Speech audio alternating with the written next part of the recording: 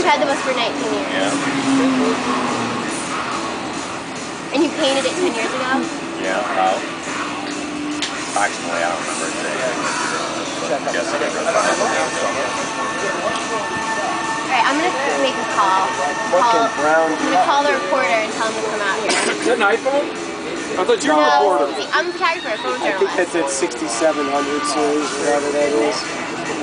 What? Phones is I 6700.